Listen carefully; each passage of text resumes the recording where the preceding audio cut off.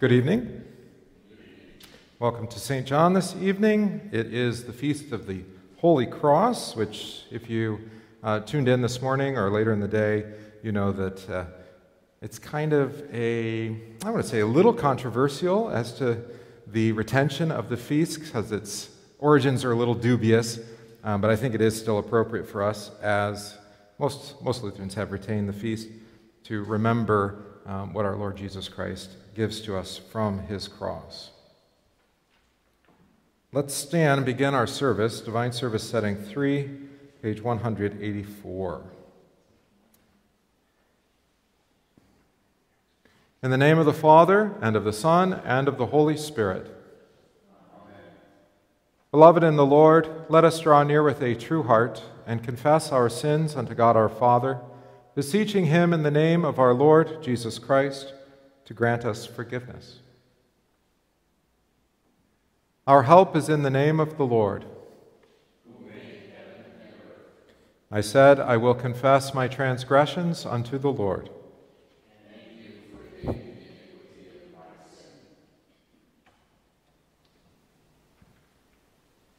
O Almighty God, merciful Father, I, a poor, miserable sinner, confess unto you all my sins and iniquities with which I have ever offended you and justly deserved your temporal and eternal punishment, but I am heartily sorry for them and sincerely repent of them. And I pray you of your boundless mercy, and for the sake of the holy, innocent, bitter sufferings and death of your beloved Son, Jesus Christ, to be gracious and merciful to me, a poor, sinful being. Upon this your confession, I, by virtue of my office as a called and ordained servant of the Word, announce the grace of God unto all of you, and in the stead and by the command of my Lord Jesus Christ, I forgive you all your sins. In the name of the Father, and of the Son, and of the Holy Spirit. Amen. Amen. The intro, it is printed on your insert. We'll read it half verse by half verse. The Lord has made known his salvation.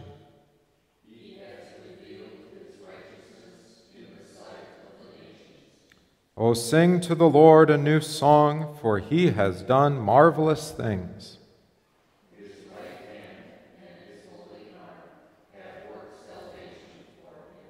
Make a joyful noise to the Lord, all the earth.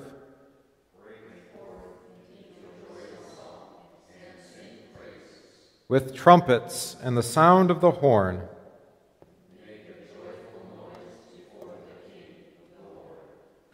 Glory be to the Father, and to the Son, and to the Holy Spirit, as it was in the beginning, is now, and will be forever.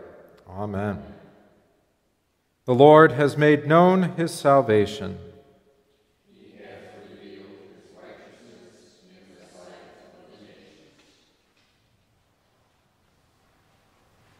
Continue with the Kyrie. Eh? Lord, have mercy upon us. Christ, have mercy upon us. Lord, have mercy upon us. Glory be to God on high, and on earth peace, goodwill toward men. We praise thee, we bless thee, we worship thee. We glorify thee, we give thanks to thee for thy great glory.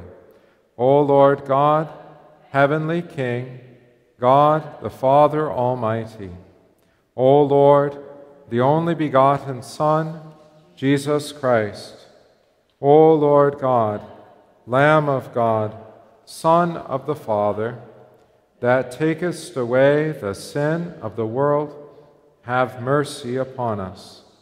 Thou that takest away the sin of the world, receive our prayer. Thou that sittest at the right hand of God the Father, have mercy upon us. For thou only art holy, Thou only art the Lord. Thou only, O Christ, with the Holy Ghost, art most high in the glory of God the Father. Amen. The Lord be with you.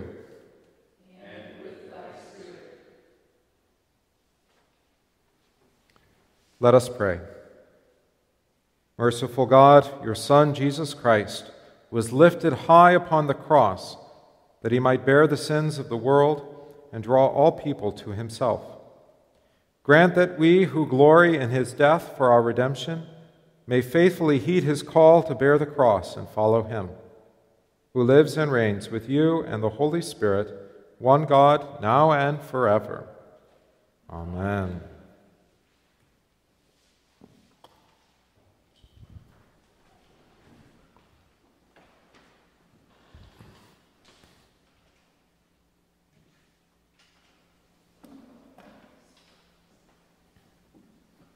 The Old Testament reading for Holy Cross Day is from Numbers chapter 21. From Mount Hor they set out by the way to the Red Sea to go around the land of Edom.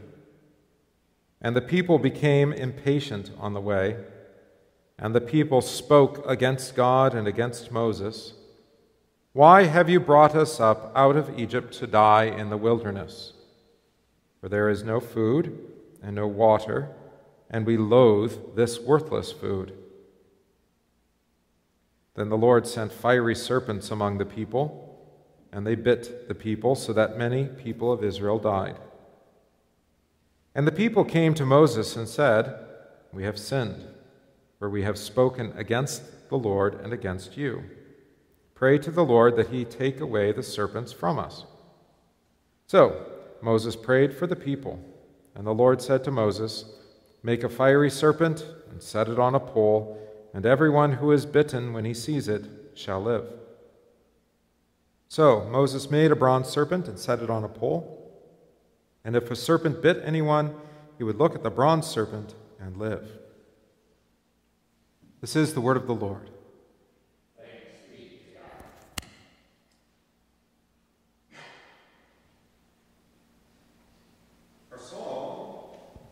Our psalm is Psalm number 40, verses 1 through 11. Again, half verse by half verse.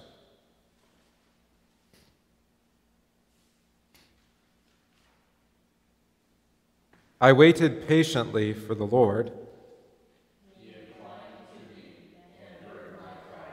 He drew me up from the pit of destruction out of the miry bog.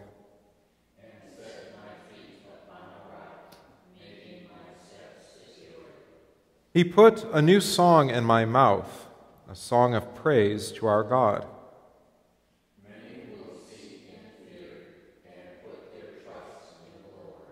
Blessed is the man who makes the tr- Lord his trust.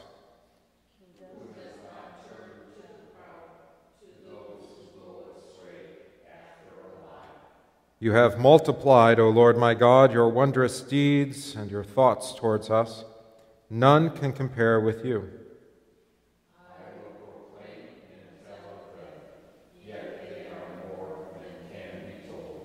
Sacrifice and offering you have not desired, but you have given me an open ear.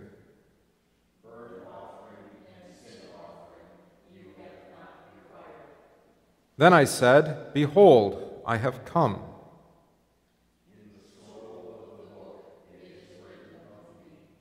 I desire to do your will, O my God.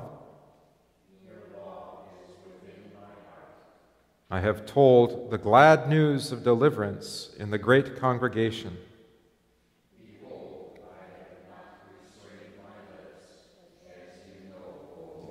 I have not hidden your deliverance within my heart. I have spoken of your faithfulness and your salvation.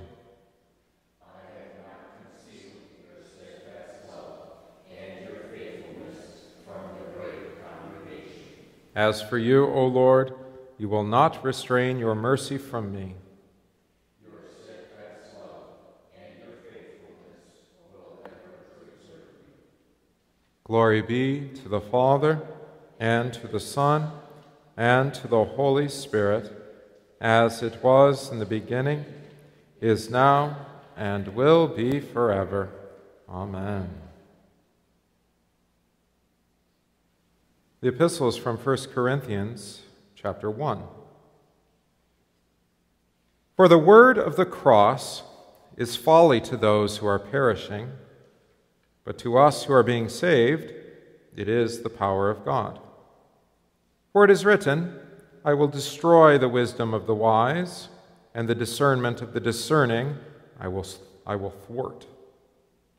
Where is the one who is wise? Where is the scribe? Where is the debater of this age? Has not God made foolish the wisdom of the world?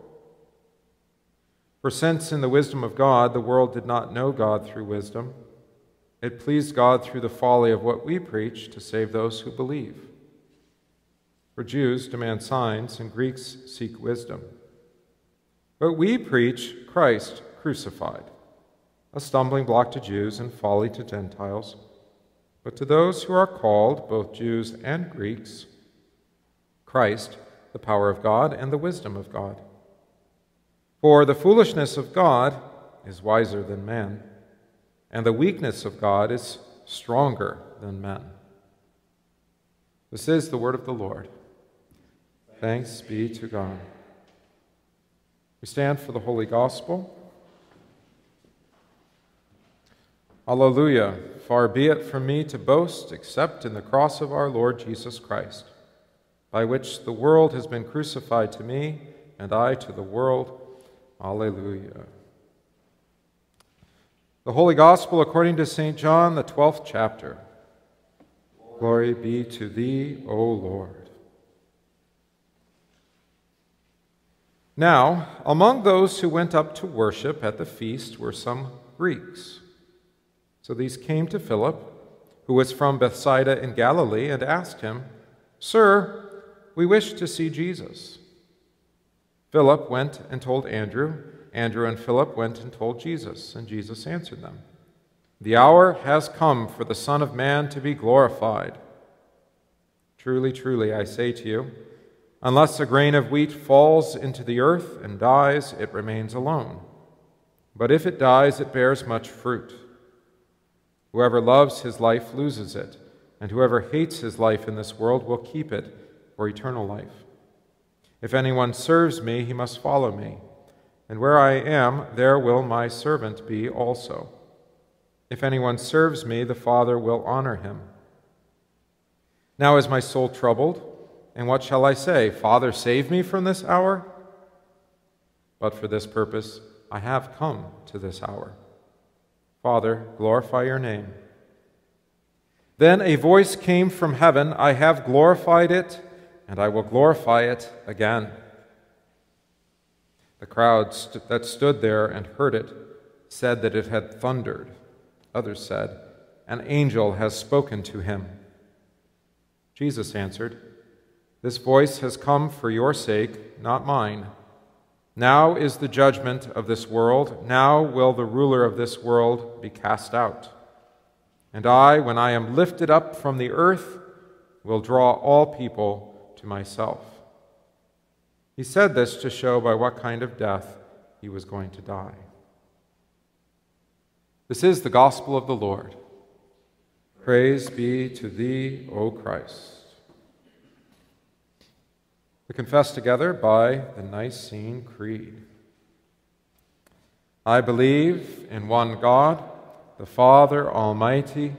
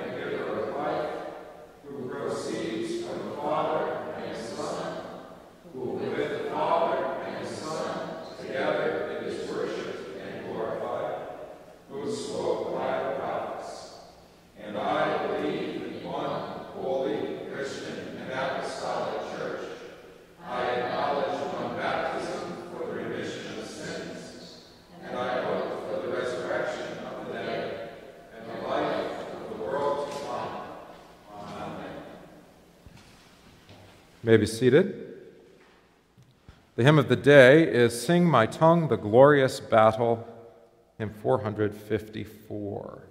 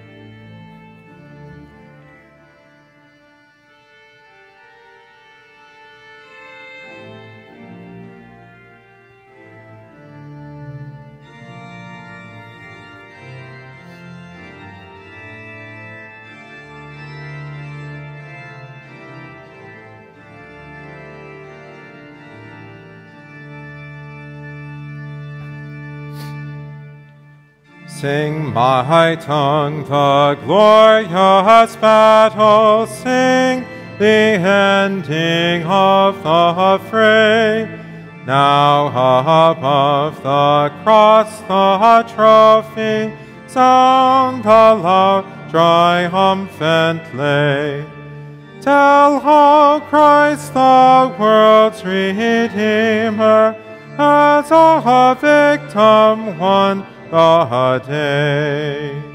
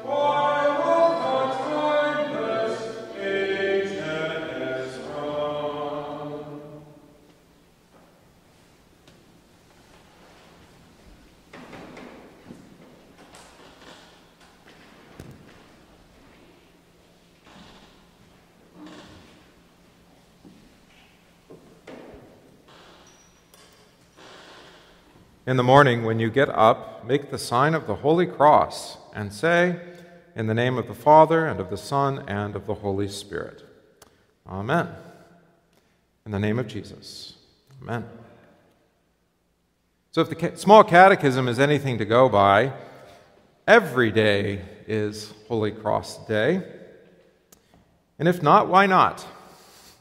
There's pious Helena, Constantine's mother, and her finding of the true cross. The time of Luther, there was the Elector Frederick, who had his own little piece of the cross. And as Luther reminds us, there's so many that, well, the cross would be extraordinarily large. And he just, Prince Frederick, Elector Frederick, I should say, Luther's elector, he commemorated that day in 1517. Well, maybe you thought that we Lutherans have gotten rid of all that kind of superstitious stuff, making the sign of the cross, waving your hand around. What kind of good could that do? It's just an external, physical, and certainly not very spiritual thing to do. And really, what does it even mean in and of itself? Well, how spiritual and how physical was your getting up this morning? Could you check into the Lord with the Lord in prayer before you had all your spiritual capacities lined up? And when did you have them all quite lined up? Everything was just right to pray. What about your physical body? What part of you did you do your praying with? Your hands, on your knees, your mouth, or your brain? You can pray without hands, without knees, without a mouth, but not without your brain, you think. That has to be the thing doing the praying, working, and concentrating. Well, then, what happens when you start to think about something else when you're about your prayers? Does that make them not count at all? This is actually an ancient heresy. It's the Apollinarians who thought that prayer had to be in the mind, it was actually thought that was the most connected with God. You will have observed so far that all of the talk about prayer has been really about yourself. But no prayer starts with you. Prayer, first and foremost, is calling upon the name of the Lord. And if He hadn't given you His name to call upon, then your prayer would indeed be nothing but talk about yourself and a God who you've projected out to suit your wishes, and a God who only is as good as he's delivering upon all those wishes. And you keep going with your prayers only as long as, well, he keeps giving you what you asked for. That's how most people pray.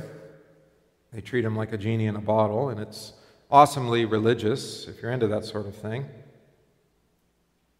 but you've been set free from it. Because God has put His name on you in the water of your baptism. And if, as an infant, how many of your spiritual capacities were there when you were baptized? How alert were you to what God was doing to you? Probably not at all. Just name and water, that's baptism. But name is there as it's spoken and it is only spoken if there's a mouth there to speak it, and a hand there to do some watering of you along with the name. It's all very physical, actually, baptism. Words and water, as the large catechism confesses. We see a man speaking and doing. But what he is speaking and doing is in the name of the Lord. And what is in the Lord's name is the Lord's own speaking and doing by the mouth and hands that he has put there as his instrument for his use, for his speaking and his doing. And so, of that, there can be no doubt that when he is speaking and doing, the wording and watering are actually being done, being spoken and done as mandated by the Lord. Baptism is as physical as it is spiritual. Most of us don't remember our baptism, though, and yet, as baptized, the Lord has made us his own brought us to life as his own. Not just back then, that life he thus has given is given to the whole of you. And it's not limited to a place or a time. There's never a place and time where you are not the baptized child of God. Each day, then, lived one day at a time as baptized children. So, when the Catechism said, make the, when you get up each day, make the sign of the Holy Cross and say, Daily, says the small catechism, our baptism is to have its way with us, to repent us, to forgive us, to enliven the way in us. And that's why the small catechism instructs us to begin each day as those whom the Lord has baptized. For us then to live each day in the confidence and with the resources that God has given us by that baptism. It's really actually a hazardous thing to try to do, to try to live your day not as if you were baptized. What the Lord does is for sure. There isn't actually much else in this world that, is, that can give us that kind of confidence. When He baptized you, He did it in a way that left no doubt that it was He that was doing the baptizing and that you are the one He baptized. Now, it is a bit difficult that get all of that running through your head in your brain first thing in the morning. All the goodness that is yours by that giving of baptism. So, probably your brain's not quite checked in. Even if you join me live in the congregation prayer at 9 a.m., I'm never quite there yet either. But your hand may do with its calling on the name of the Lord too, which may pull the mouth into saying it, all of which is evoked by having given you his name. So it's never really a dead thing brought to life by us when we check in. Whatever it is, it is the doing itself, doing himself, whose name it is and whose name he is the doer of. It's God who gave you the name, and it's God who's putting that name upon your lips and even taking your hand to make that sign of the cross to remember the gift of baptism that he gave you. So maybe think of it this way when you're beginning your prayers Dear Lord, please be doing your name with me today. And that the whole of you, none of you is left out of where his name is and where his name is doing. And so, where that is, is located by the sign of the Holy Cross. This is why Luther retained that practice for us. The sign of the cross is a cipher or a symbol of the name that was put on you in your baptism. That's why when you're baptized, that sign is put upon your forehead and your heart. There are some accounts, early accounts in the history of the Christian church at baptism, where they attempted actually to write the whole name of God inscribed on the person being baptized. Some churches still retain the practice of the baptized receiving it actually as a tattoo upon their skin, that sign of the Holy Cross.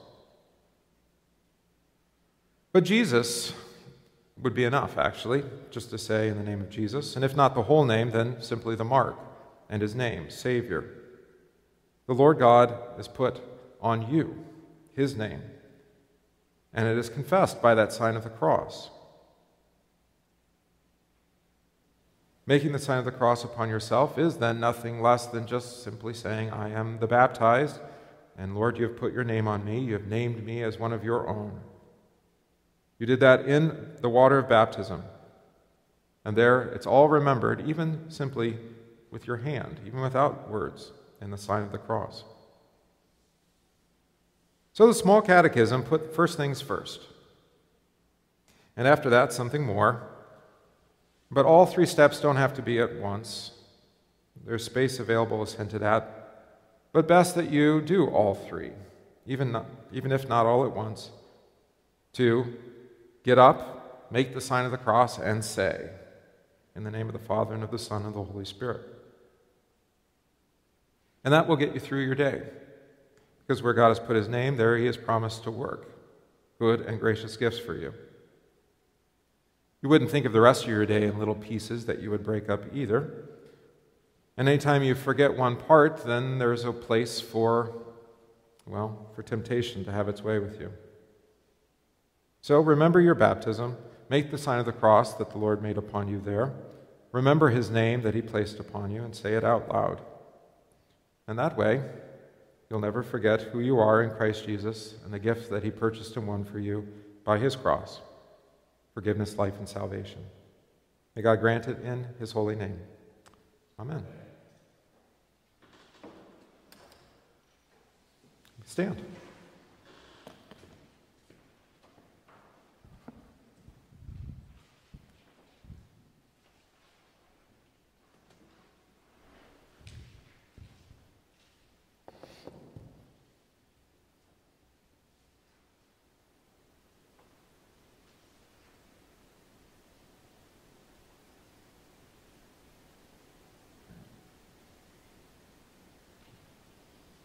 Going to try to play the note, but my pitch pipe is not working. I think it is time for a new one.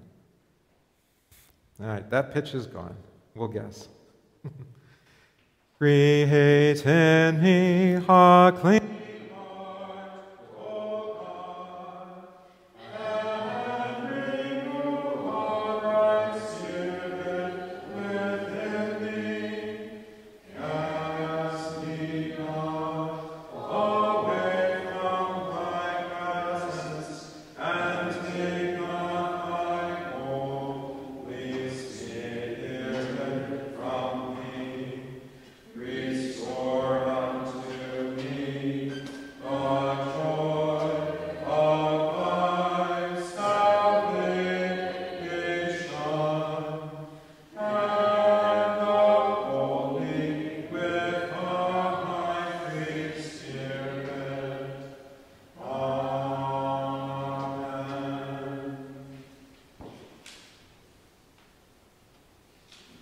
Let us pray for the whole church of God in Christ Jesus and for all people according to their needs.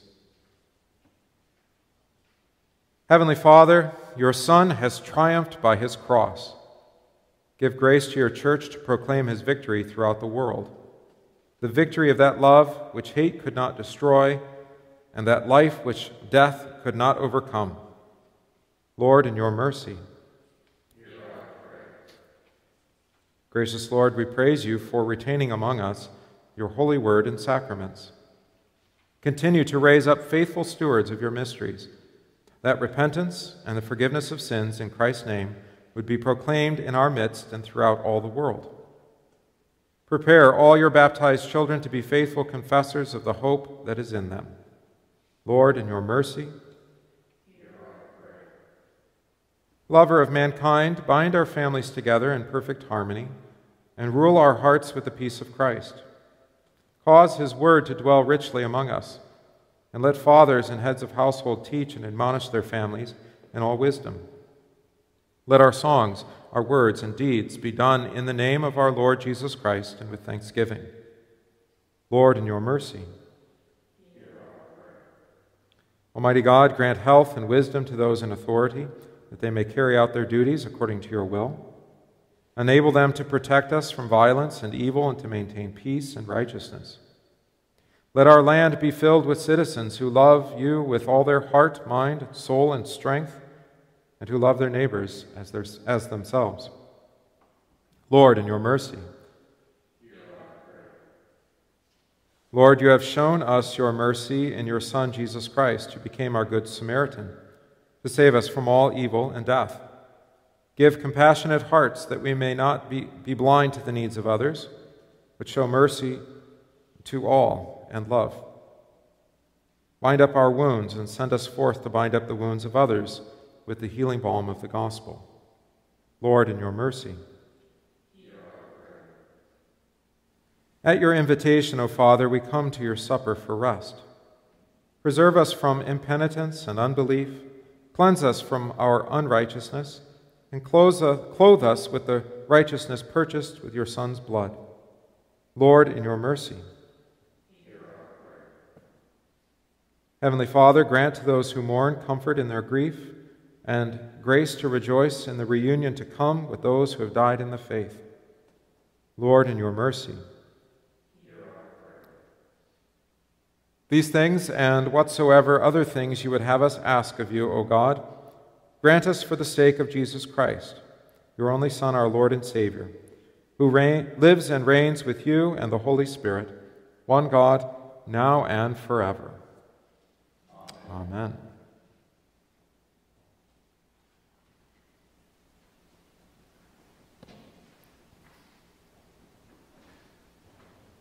The Lord be with you. Lift up your hearts. Let us give thanks to the Lord our God.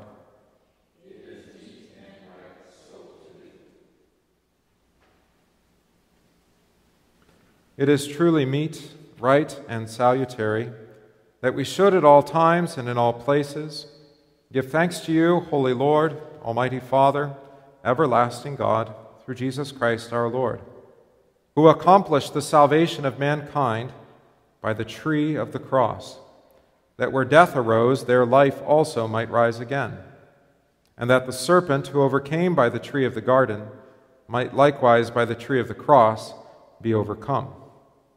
Therefore, with angels and archangels and with all the company of heaven, we laud and magnify your glorious name, evermore praising you and saying, Holy, holy, holy Lord God of Sabaoth, heaven and earth are full of thy glory.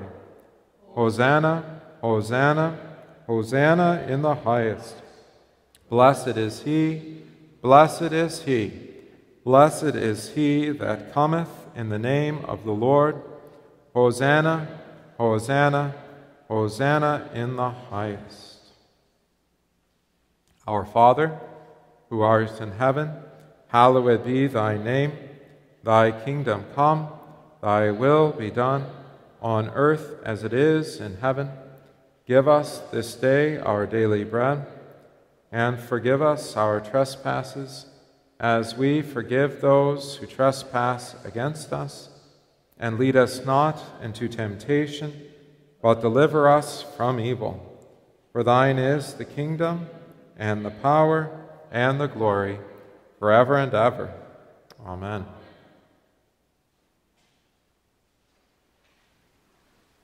Our Lord Jesus Christ, on the night when he was betrayed, took bread, and when he had given thanks, he broke it and gave it to the disciples and said, Take, eat, this is my body, which is given for you.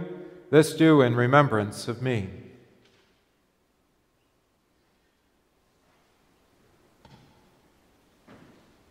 In the same way, also, he took the cup after supper, and when he had given thanks, he gave it to them, saying, Drink of it, all of you. This cup is the New Testament in my blood, which is shed for you for the forgiveness of sins. This do as often as you drink it in remembrance of me.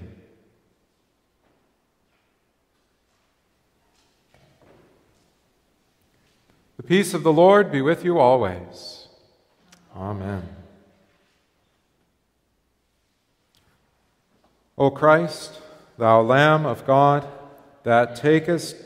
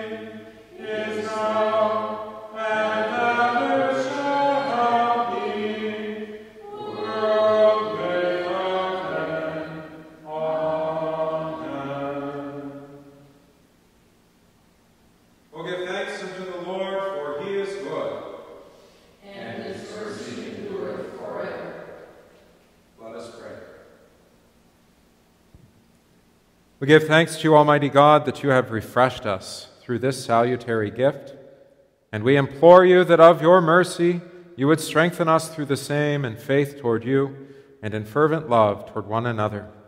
Through Jesus Christ, your Son, our Lord, who lives and reigns with you and the Holy Spirit, one God, now and forever. Amen. The Lord be with you. Bless we the Lord. The Lord bless you and keep you. The Lord make his face shine upon you and be gracious unto you.